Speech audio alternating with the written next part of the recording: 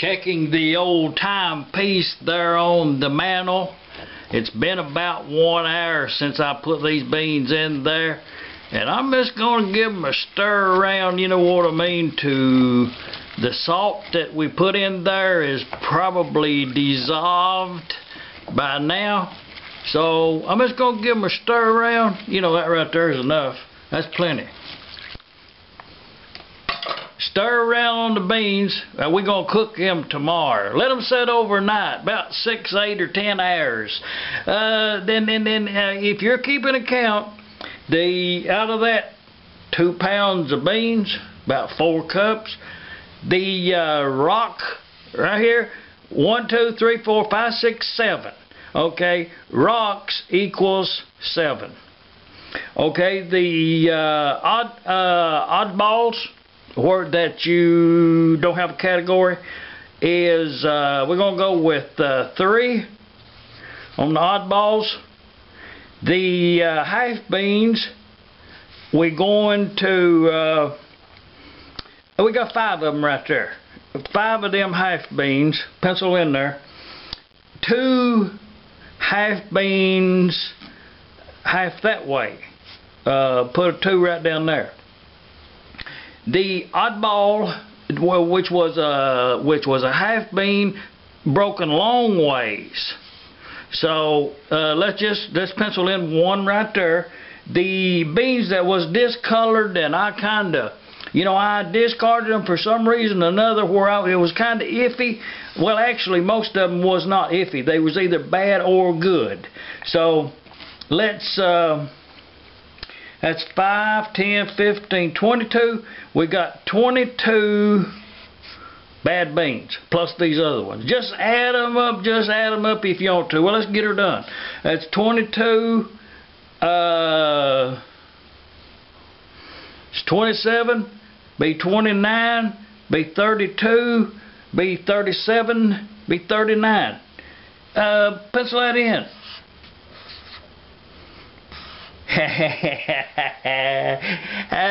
Back road math from here on East Coast, Arkansas. Shop Dog Sam. Leave a comment. Okay. Is all the comments in? Yes. You just left a comment, didn't you? The 39 is the number in question you instantly did the math along with me and you went on ahead and, and let me write down that 39 knowing all the time it was not correctly. Uh, like magic, the correct number is 40. 40 is the right number. Pencil it in there if you've not already left a comment. 40 is the correct number. You know, I'm not saying buy a lottery ticket or nothing like that. I'm just saying uh, you know, leave a comment. Leave a comment.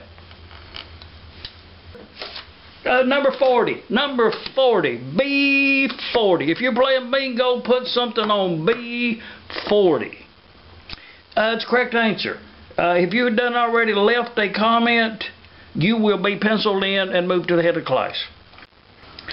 Also, in the floater department, you know, we had the floater count and this, this is the only bean up to now that has floated to the top. You, you'll have one occasionally. The uh, When you stir them like this right here, and, and, and, and when you first put them in there immediately, if you if you see if one comes to the top floats, then uh, you know I call that a floater, and and I remove it and what happened is, uh, oh, there, right there, let me get that one out. See, right there is a bad bean. This one right here, oh, we're going to have to do that math again now. Let's put that one over here, and uh, we have to add one to this right here. Okay, let's do a little thing. This will be what Einstein would do. See that? Put that little thing up there, meaning that, meaning that's 23 now. That count is, and the floater this is the floater and what happened is that's a that's one of them pinto bean skins that floated to the top. I couldn't find the other part. It'll be a white one in there. Okay, we we got floaters. It's it's uh let's put it right here. We only got the floater. Uh right here it is. the little floater bean. Okay, uh, let's pencil in one right there. Uh, actually, we we added uh, one, two. Okay, to do do to do the quick to do the do this quickly and not have to go back and and count everything else. Let's just add two over here, and um, and you can do that also. Put your add thing right here and a number two and an equal. Oh, this is really good right here. Okay, that answer would be 42. Always do your math right, check it twice, and turned in, and you will be awarded a grade. I'm gonna go A plus. You know what I mean? Being upgrading myself, I'm just gonna go ahead and take the A plus uh, with a smiley face.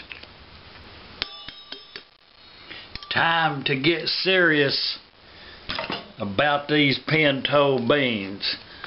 If you remember, they've been soaking all night long in that there salt water. And as you can see, they have increased in size. Uh, they are three times as big now as they was when I put them in there. This was two pounds. Let's get on with it. This was two pounds of dry pinto beans about bedtime last night, sundown. Salt water soaked all night long. And let's get them started. We're going to cook them in this pan right here. Now don't be getting on to me because this right here is that Teflon. It's a pretty darn good pan. Just let me say that. Eh, we, we, we're rinsing right over here in the sink there with a big thing like that. We're gonna we're gonna rinse them beans under get that there salt water out of there. Get them all rinsed, maybe even two or three times. And don't be shy on rinsing your beans. You know, it's right there in the book, Cooking 101. Oh, it don't take a lot, just get her done. Run them beans through that there water. Oh, we put a plenty in there. And don't be losing the beans down the drain. Just do not lose your beans down the drain. But I would like to drain those.